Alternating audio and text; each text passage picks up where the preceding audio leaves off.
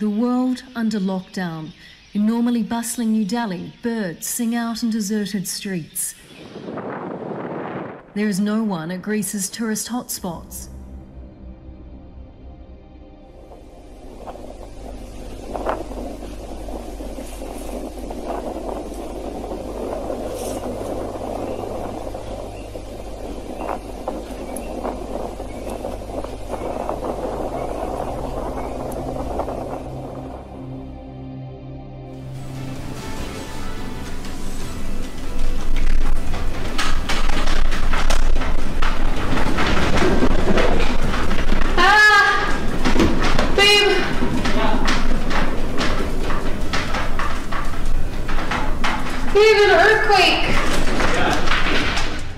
Tonight on 6 on your side at 10, a rare and powerful earthquake rocks the state from Twin Falls to Moscow and sends Treasure Valley residents scrambling for cover.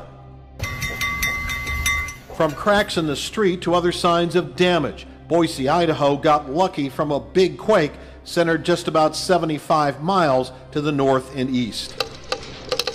Oh my god. I'm gonna see if Megan felt that one. I just worry about the beams.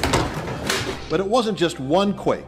The 6.5 in blue has also been followed by aftershocks, dozens of them. Related or just a coincidence? After a magnitude 6.5 earthquake yesterday in Idaho, we asked a local seismologist if it is connected to the quake here in Utah two weeks ago. Floors, walls, our chandelier is shaking. Tobin says the west coast is being pulled north and compressed it creates a rotational effect east to that part of Idaho, which instead of being squeezed is actually being stretched and expanded. So far this year, we tragically lost Kobe Bryant. Sports has been canceled. The coronavirus has us isolated inside our own homes, and now an earthquake? Can we just start 2020 over? And I know I'm not the only one who feels this way. Some years are like this, and some years are calm, and you never know. This is Mecca after the Saudi authorities imposed a full lockdown. Islam's holiest site is always packed with pilgrims throughout the year. But these are extraordinary times. These farmers in eastern Kenya's Kitui County are running out of time. They were invaded by millions of desert locusts that used their farms to breed.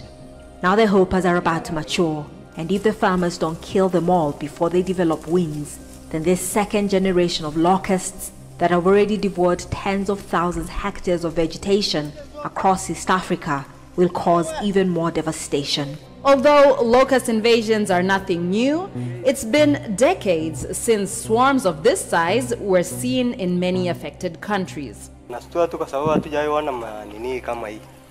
na tena ukiingia kwa miti kama hiyo anamaliza nyasi mpaka hata unastuka kitu kwenda mbele atamaliza nini nyasi zaidi. The swarms in Kenya will be moving north. In the region, countries such as Ethiopia, Somalia, South Sudan, Eritrea, and Djibouti will be hit hard as the locusts head toward the Arabian Peninsula. Some farmers are concerned that with the onset of coronavirus, many governments will divert resources meant to deal with the locusts. A locust swarm can cover hundreds of square kilometers. It's not uncommon for a swarm to be as big as the size of a major city. And one square kilometer can contain at least 40 million locust adults.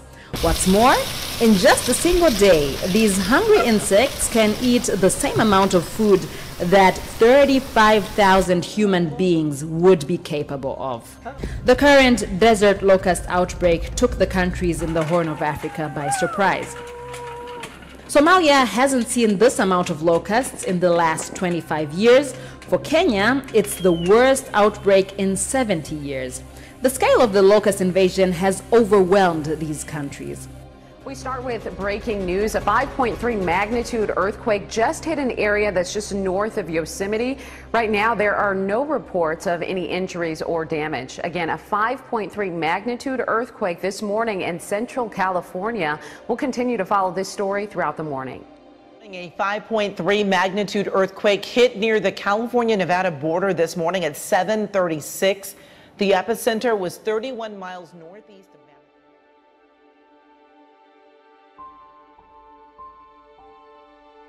More than a week after the Magna earthquake, aftershocks are still shaking the Salt Lake Valley. Just this morning, there was a pair of magnitude 3 aftershocks.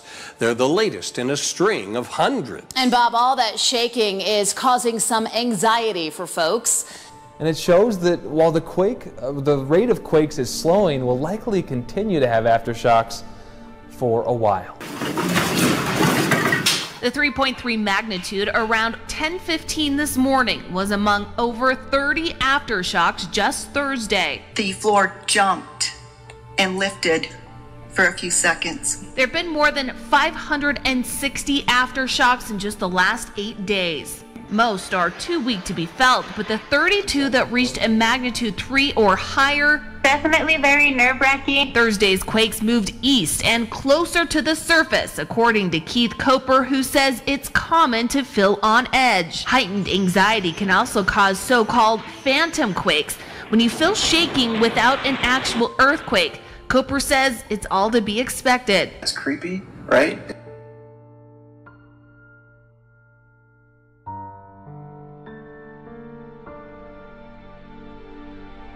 Says it's different from what happened here in Utah on March 18th. That was a magnitude 5.7, um, and that was what we call a normal earthquake. Um, and that's where you have um, the earth being stretched apart. Who felt the shaking from that earthquake all the way down here in Utah are now wondering if the Idaho earthquake is somehow related to the earthquake we had two weeks ago in Magna. Two earthquakes, just a matter of weeks apart. And he says the two earthquakes are not related. He says it's sort of a coincidence. Make sure you look up tonight because it's expected to be the biggest and brightest supermoon of the year. The supermoon happens when there's a full moon that's closer to the earth than it's normally.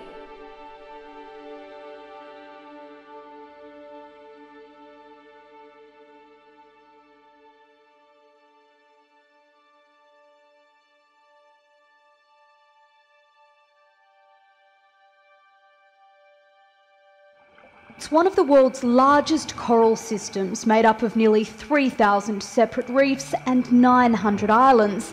The Great Barrier Reef attracts huge numbers of tourists every year, but this underwater treasure is at risk of disappearing due to coral bleaching. Over the past two weeks, James Cook University has surveyed more than a thousand reefs. It found they were severely bleached in all three regions of the system and says it's more widespread than ever before. This is the third time it's happened in the past five years. If this continues and we're seeing these mass bleaching events every few years, there just will not be the opportunity for the corals to recover in between these major disturbances. It really is unprecedented. And when we think about what the Great Barrier gives Australia, it's its cultural heritage, it's iconic, um, and the tourism industry, all of these facets we will lose instantly if we have another bleaching event of these magnitudes. The reef is highly vulnerable, not only to warming temperatures, but also pollution and coastal development. Of course, severe drought is intensifying bushfires. Rain, rain, and more rain. After an unusually dry January and February, Southern California has been pummeled by a series of spring storms in late March and April.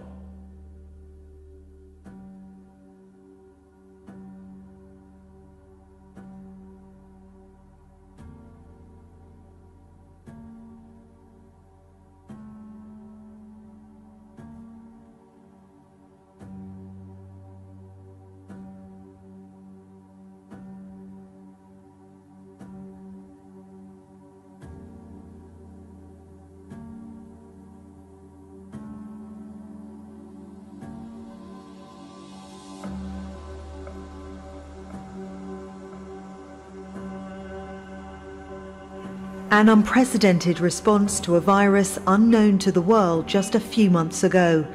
Now on nearly every continent, country, and street. It's been called the crossroads of the world, but these days, no one is going anywhere. New York, the center of American culture and commerce. Even the famously busy Grand Central Station is eerily quiet. During normal times, three quarters of a million people would pass through here each day. Italy ordered a national lockdown. Two days later, the World Health Organization made a rare declaration. We're deeply concerned both by the alarming levels of spread and severity and by the alarming levels of inaction. Most governments have decided, for now at least, drastic measures are necessary to save lives, no matter the cost. Many have implemented unprecedented lockdowns to slow the spread of the virus so healthcare systems aren't overwhelmed. Scientists say we're in uncharted territory.